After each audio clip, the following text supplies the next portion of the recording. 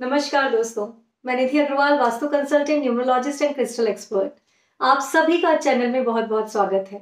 आज अपने इस वीडियो में मैं आप लोगों से बात करूँगी पायरेट क्रिस्टल को क्लेंस कैसे करते हैं। ये बहुत ज़्यादा मेरे पास क्वेरीज आ रही हैं इसको लेके, क्योंकि मैंने और भी वीडियोस बनाए हैं कि क्रिस्टल्स को क्लेंस कैसे किया जाता है। वह पायरेट का थोड़ा सा हमें ध्यान रखना पड़ता है। पायरेट क्रिस्टल जिसे बोला जाता है फूल्स गोल्ड क्योंकि बिल्कुल गोल्ड की तरह ही दिखने वाला शाइनी चमकदार ये क्रिस्टल होता है। Actually this is more of metal ये जो स्टोन है, ये मेटल मेटलिक प्रॉपर्टी बहुत है, इसमें आयरन बहुत होता है। इसी वजह से इस क्रिस्टल्स में कुछ डूज एंड डोंट्स हैं जो हमें ध्यान रखने पड़ते हैं इसको क्लेंस करते वक्त। तो चलिए बात करते हैं। सबसे पहले हमें क्या नहीं करना है इस क्रिस्टल के साथ? जब भी पायरेट को हम क्लेंस करते हैं तो हमें इसे कभी भी रनिंग वाटर में क्लेंस नहीं करना है। ना ही हमें इसे किसी सॉल्ट वाटर में डिप करके रखना है।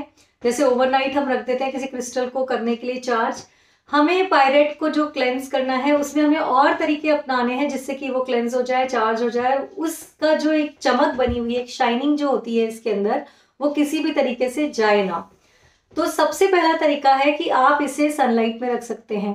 आप इसे एक से दो घंटे तक, इनफैक्ट पूरा दिन भी सनलाइट में रख सकते हैं क्रिस्टल खराब नहीं होगा।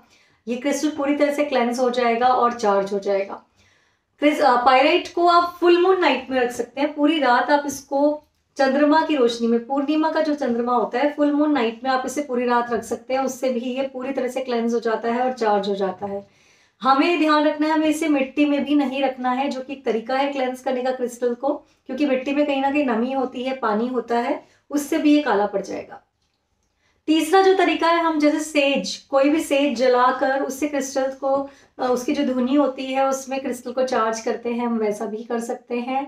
चौथा जो तरीका है इसको चार्ज करने का, वो है साउंड थेरेपी से। इसके ऊपर मैं एक वीडियो बनाने वाली हूँ कि किस तरह हम क्रिस्टल्स को, साउंड थेरेपी जो होते हैं ना, तिब्बतियन बॉल्स आते हैं, आपने देखे होंगे, जिसमें साउंड निकलती है, अगर हम उसे बजाएँ तो उस तरीके से भी हम पायरेट को क्लेंज और चार्ज कर सकते हैं। पायराइट को अगर आप किसी भी सेलेनाइट की प्लेट पे या फिर किसी क्लियर क्वार्ट्स के ऊपर अगर रखना चाहें तो उससे भी ये क्लेंज और चार्ज हो जाता है। वो तरीका भी आप अपना सकते हैं इसको क्लेंज और चार्ज करने के लिए। जो लोग रेकी जानते हैं, वो लोग रेकी से भी अपने पायराइट को क्लेंज और चार्ज कर सकते हैं। तो ये तो तरीका हुआ, जब आपका पायराइट आपको पहनते हुए आठ दस दिन हो जाए या जितना भी ज़्यादा आप लोगों के कांटेक्ट में आ रहे हैं उतनी ही जल्दी आप अपने पायराइड को चार्ज करेंगे। और अगर आपको लगता है कि ज़रूरत है या आपको अंदर से ऐसी फीलिंग है कि मुझे अपने पायराइड को क्लेंज और चार्ज करना है।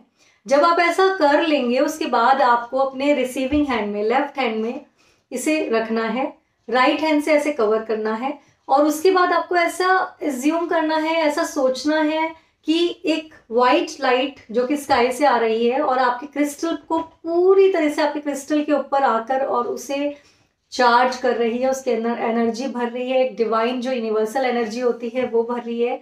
और आपके मन में, अपने पायरेट को हाथ में लेकर जो भी मैनिफेस्टेशन आती हैं, चाहे वो हेल्थ वेल्थ प्रॉपर्टी किसी भी चीज़ को लेकर अपॉर्चुनिटीज़ से रिलेटेड हो, वो आप उस टाइम पे अपनी मैनिफेस्ट कर सकते हैं। और उसके बाद जब आपको लगे कि हाँ मैंने अच्छे से इसको मैनिफेस्ट कर लिया है, तब आप जहाँ चाहें अपने इस पायरेट के पीस को रख सकते हैं, चाहे वो आपका ड्रॉर हो ऑफ़िस का टेबल हो, चाहे वो आपका लॉकर हो, या ऐसी कोई जगह हो जहाँ पर अपनी विश के साथ आप पायराइड रखना चाहें, या फिर अगर आपकी कोई ऐसी ज्वेलरी है पायराइड की जो आप पहनते हैं, उसके बाद आप उसको धारण कर लीजिए। तो ये बहुत ही सिंपल टेक्निक्स हैं पायराइड को चार्ज और क्लेंस करने के लिए, क्योंकि पायराइड जैसे मैंने बताया कि इसको हमें पानी से जितना हम इसको बचाएँगे, उतना इसकी एज बढ़ेगी और दिखने में इसकी खूबसूरती बनी रहेगी, क्योंकि इसमें आयन बहुत होता है तो ये तुरंत पानी टच होते ही काला पड़ना शुरू हो जाता है।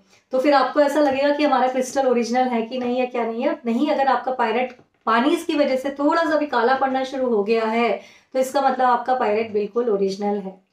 तो इस वीडियो से जुड़ी हुई कोई भी आपको क्वेरी हो तो आप पूछ सकते हैं। और वीडियो पसंद आए तो ज़रूर ज़रूर लाइक और सब्सक्राइब कीजिए। हम हम अपने अगले वीडियो में आप लोगों से मिलेंगे उन क्वेरीज का जवाब देने के लिए, जो कि व्यूअर्स पूछते हैं। क्रिस्टल से रिलेटेड क्या डूज हैं डोंट्स हैं, किन चीज़ों का ध्यान रखना चाहिए क्रिस्टल्स को यूज़ करते वक्त? तो तब तक के लिए स्टेट्यूट नमस्कार।